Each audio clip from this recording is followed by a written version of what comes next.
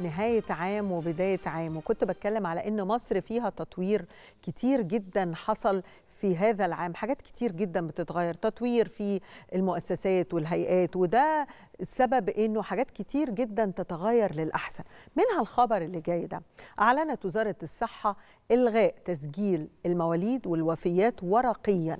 يعني زي ما كنا بنروح كده نكتب يبقى عندي شهادة الميلاد الورقية عندي ابني فلان اللي اسمه كذا أمه كذا ابو كذا وهيتم استبدالها بالتسجيل الإلكتروني.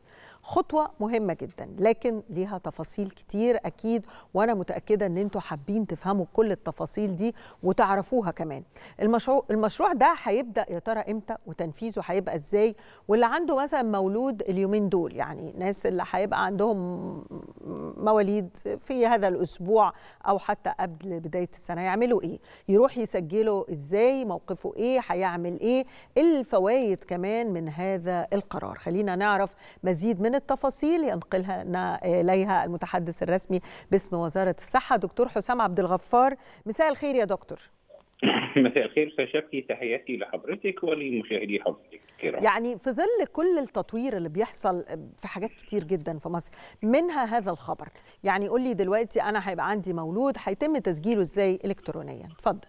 يعني في ظل توجيهات السيد الرئيس عبد الفتاح السيسي ب التحول الرقمي للدولة المصرية. النهاردة الدكتور خالد الغفار ووزارة الصحة والسكان بتعلن أنه انتهى عهد التسجيل الورقي للخدمات التي تقدم في مراكز الصحة سواء كان شهادات الميلاد شهادات الوفاة أو تصاريح الدفن التي يتم استخدامها في مكاتب الصحة. النهاردة إحنا بنتكلم على ربط مكاتب الصحة وعددها أكثر من 1000 5400 مكتب صحة بشبكة إلكترونية موحدة بالمركز الرئيسي في وزارة الصحة والسكان في العاصمة الإدارية الجديدة عشان المواطن بيروح عايز يطلع شهادة ميلاد بيروح يقدم المستندات اللي معاه سواء بقى ال ال أو بيان الولادة من المستشفى أو من المكان اللي تمت الولادة فيه. أول ما بيقدمه بيتم تسجيل ده بشكل مميكن.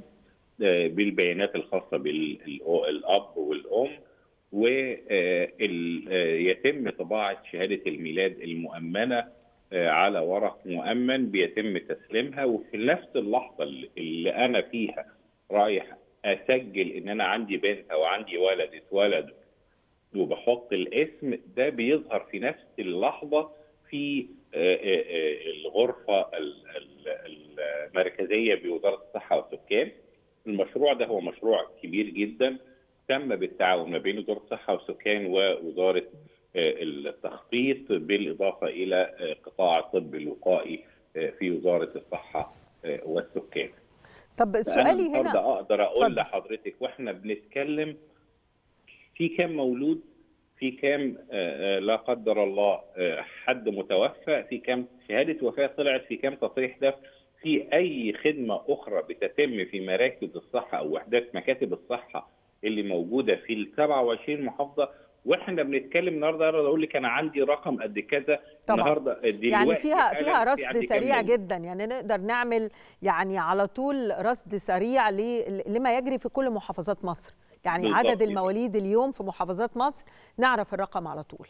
بالظبط طيب السؤال بقى يعني دلوقتي الناس زي ما حضرتك شرحت كده الناس تتوجه إلى وزارة الصحة وهي تقوم بالتسجيل الإلكتروني مباشرة. آه مكاتب الصحة اللي هو متعودين يروحوها بدل ما كان بيستنى ويقدم شهادة ورقية ويقعد يستنى لحد ما تطلع الشهادة وتتكتب البيانات بيتم تسجيلها في في مكاتب الصحة في اللحظة ب ب ب على الحاسب الآلي وبيتم طباعة الشهادة في خلال مدة لا تزيد عن خمس دقائق. خلاص وياخد الشهادة مدموغة مختومة ما فيش بقى أي إجراءات فيها روتين ولا بيروقراطية ولا أي شيء. بالظبط ونفس الشيء ده بالنسبة في حالات الوفاة هيتم. بالظبط كده لحالات الوفاة وتصاريح الدفن وأسباب الوفاة بحيث إنه يعني يطلع ده في زي ما بقول لحضرتك كده في مدة زمنية لا تزيد عن خمس دقائق. ده ده شيء جميل خلينا نقول إنه الخمس دقائق تغير الكثير في مصر بداية من العام المقبل بإذن الله. بشكرك شكرا جزيلا دكتور حسام عبد الغفار المتحدث الرسمي باسم وزارة الصحة، زي ما بقول لكم هتلاقوا حاجات كتير جدا بدأناها وبننجز فيها بإذن الله.